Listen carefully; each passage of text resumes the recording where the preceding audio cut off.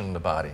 It's not perfect at all. It's, it's a perfect example of, of why the body is not designed. Cover one eye, if you would, please. And we take the pin and we move it right in the, and you have to keep looking right, at the bridge of my nose, so keep your eye fixed. And now we're going to move it just out a little bit, about 15 degrees, and right about there. Yeah, it's gone. It's gone. Yeah. You can't see it? No. Now can you see it? Yes. Now can you see it? Yes. Now can you see it? No. There's a blind spot. Yeah. That's really lousy. Our bodies are so fabulous in some respects. Our heart keeps beating and never takes a five-minute vacation for decade after decade after decade. That's astounding. But we have an appendix, we have wisdom teeth, birth is difficult, uh, many people get nearsightedness, and the combination of some things being so perfect and other things being such botched jobs is what should make us all sit up and take notice that this is something that's been shaped by natural selection. It has a lot of vulnerabilities built in that can be explained only by how natural selection works.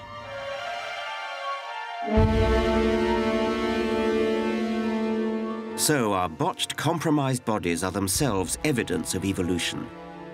They're shot through with history. Evolution is a fact. It's documented by science to the same degree Napoleon is by history. Some things are just true, they're not a matter of choice or opinion. But you'd never guess that in the place where this matters more than anywhere, in our schools, where the teaching of evolution has become a hugely sensitive issue for science teachers. This is multicultural Britain, and one of its fault lines runs straight through our children's classrooms. How do we reconcile scientific truth with the deeply held convictions that bind religious communities.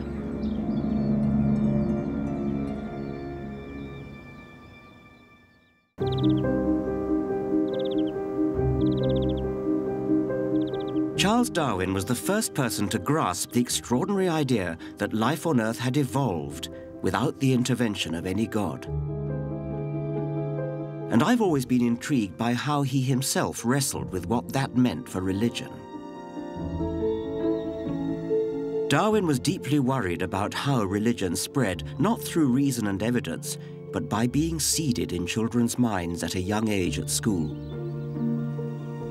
He wrote that it would become as difficult for them to throw off their belief in God as for a monkey to throw off its instinctive fear and hatred of a snake.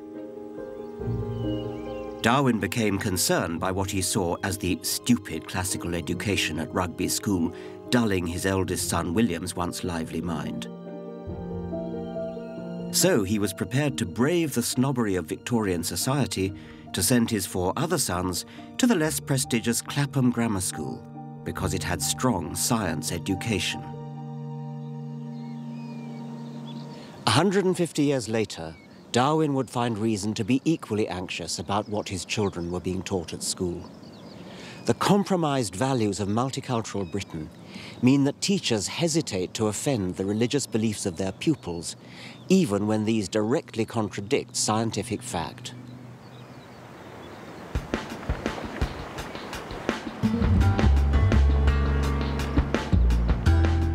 Earlier in the series, I took a science class from Park High School in North London, fossil hunting. I was amazed by their lack of knowledge and understanding of evolution. So, what do their science teachers have to say about this? I worry they're tiptoeing too respectfully around traditional beliefs. Some kids just won't accept it. Um, you know, that they're brought up in families where um, they just don't believe it, and that's that's an end to it. There's no lack of understanding of it necessarily. It's just it, it you know we can't get into the business of knocking down kids' religions and, and the religions of families. Why why not actually? Why, why not? Because why not? Be because we because we teach science, yeah. and I would not feel comfortable talking about anything but science. So if I present the scientific case and I make sure they understand the scientific case, I think I've done my job. Yeah. But their acceptance of it is a separate issue. For some students, truth isn't something they see coming through science, even though our emphasis is on ideas and evidence to, to support these ideas. Um, a lot of students have a, a, religious narrative that's very important to them. It's an important part of their life, um, through their family and their culture. Would it be too unfair to suggest that these well-meaning teachers are running scared? Who could blame them? Obviously, what we believe is affected by our upbringing. But that doesn't mean we can't change our minds. We all have the right to see the evidence and re-evaluate our beliefs. These science teachers shouldn't be afraid to spell out the scientific truth derived from evidence. I don't see that we can we can expect to to convince them just by showing them the evidence. Really? Um, Why not? Well, because they've got other evidence which they've been brought up with throughout their lives. But that's to, not evidence. No, to them it's evidence, though, isn't it? And, to, and, yeah. to their, and to their parents. We're talking about something very fundamental here. We're talking about young people. We're talking about identity. It's not our place to to um, to fly the banner of science and say there's no room for anything else. All we can do is present science. This is a way of thinking. This is this is science has given us so much. Um, this is one way of interpreting life. Um, we Just believe this way is of interpreting. we believe this is the way because we are scientists, but it's not my place to tell you that you're wrong. We believe it because we're scientists. Do you really mean that? Or do you mean we believe it because the evidence is there in the well, that, that's what I'm saying. That's Yes, what, because yeah. I'm, a, I'm a scientist and that's the way I view No, no, the it's not because you're a scientist, is it? I mean, it's there. The evidence is there. Their, their evidence is not there. It's just made up.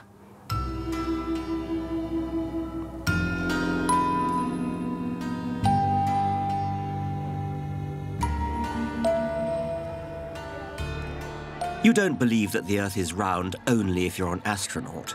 You don't believe Napoleon existed only if you're a historian. You believe these things because they're facts proved by evidence. Evolution is also a demonstrated fact.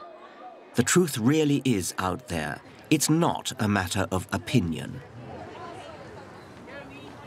Relativism, the quaint notion that there are many truths, all equally deserving of respect, even if they contradict each other, is rife today. It sounds like a respectful gesture towards multiculturalism. Actually, it's a pretentious cop-out.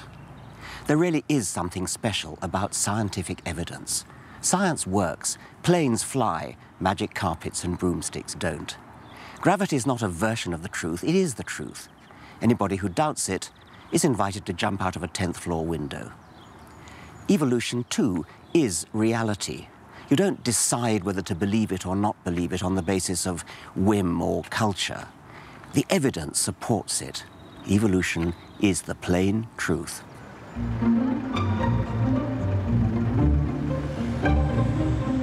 Where has all this wobbling come from? Well, it started right back in the 19th century, in Darwin's time. Rather than just denying the evidence, the Church of England developed the most sophisticated strategy to face the challenge of evolution. It saw evolution as one truth within a bigger one, and embraced Darwin in what one might call a comfortable relativist fudge. Science would explain the workings of nature, and God could take the credit for getting science started in the first place. It's a subtle argument put forward by the most powerful Christians in the world. Let's take it on in its modern guise. Darwinism as a theory of how evolution works, a highly plausible, highly credible theory about biological history. I don't have a problem with that. Do you see God as having any role in the evolutionary process? For me, God is, is the power or the intelligence that shapes the whole of that process. Um, as creator, God's act is the beginning of all creation. But by setting up the laws of physics in the first place, in which context evolution takes place? Things unfold within that. What about intervening during the course of evolution? I find that that rather suggests that God couldn't have made a very good job of making the laws of Yes. physics in the first place if he constantly needs to be adjusting the, uh, adjusting the system, adjusting the works. And I think that's a slightly different But there's a problem for the Church of England. Isn't it trying to have its cake and eat it too? But Trying to have both God and the laws of science means that one or the other is compromised. Either God can't interfere and has no impact, or if he does get involved, it can't be squared with science. Um, you do believe in some of the New Testament miracles, I mean, such as the, the virgin birth and, and uh, any, any others, I mean, the, the the raising of Lazarus. yes, and the raising of Lazarus, yes. Okay. Now, isn't there a kind of mismatch between your your view of science as something that God doesn't interfere in, and that um, somehow He made it right in the first place? How do you reconcile that with what looked to some of us like sort of more like cheap conjuring tricks and, and not the sort of grand um, creator that, that, that, mm. that, you've been portraying. I think if you start with a picture of you know, God outside messing around with the works, you are in danger of getting into the conjuring tricks model. I think, though, that um, there are certain moments when there is an opening in the world in which the underlying divine action comes through in a fresh way. Take the birth of Jesus. Here you have a long history of preparation for the coming of God in a new way. Here you have a particular life, that of Mary,